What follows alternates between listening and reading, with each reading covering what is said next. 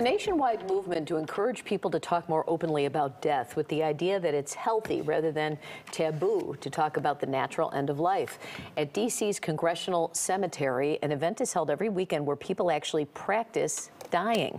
It's held by the cemetery's first ever death doula. Laura Lyster-Mensh joins us to explain how it works. Good morning. Good morning, Robin, Larry.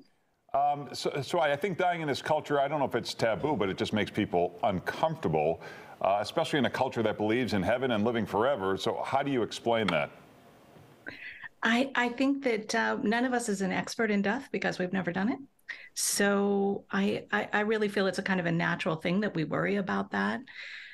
But I think that being scared of something that is inevitable also kind of decreases our enjoyment of life. So it's really about living, not dying. So in these gatherings that you have once a week, uh, do people you say people practice dying and they'll write their write an obituary They're, how do you practice dying are you just kind of laying there and how, how does that all work so you showed one of the pictures from that event. Yeah. In that particular event, the first one, we had some singers who um, volunteer their time, the Threshold Singers of DC.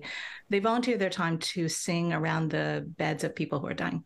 So I invited them to come for our first event, and you can see there's a picture of one volunteer who came and laid down and experienced that. And this is all part of exercises that we're going to do this year. It's an experiment at Historic Congressional Cemetery where we talk about death, we think about death, we make plans, uh, we write our stories, we organize our digital lives to to just really take it seriously and live more fully. Yeah, I wonder if someone it, practicing for the first time comes away from that and, and, maybe says to you, you know, I've been living my life doing these things and maybe I should have been doing those things. What kind of feedback have you gotten? You you nailed it there. Uh, in, during the exercise that we did last week, writing your own obituary, it was actually quite a lot of young people, and they had never thought about who they'll leave behind, who will remember them, um, who has gone before them.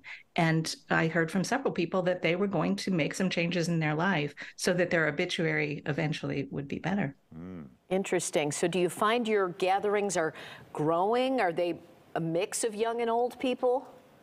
It's a mix of uh, young and old people. I will say one thing I found interesting is it's mostly female huh. which which I I don't know why, but I was surprised.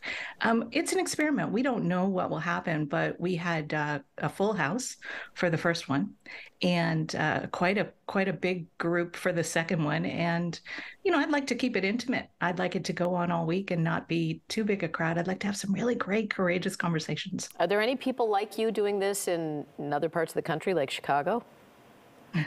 no, so there's a lot of um, end of life doulas or death doulas, and I would recommend everyone find one if you're dealing with an end of life situation or you just want to have one in place for when you do have a death and you know impending death yeah. in your family. Um, what we're doing at Congressional Cemetery though is as far as I know, the first time that a cemetery has had a, a, an end of life doula or a death doula in residence.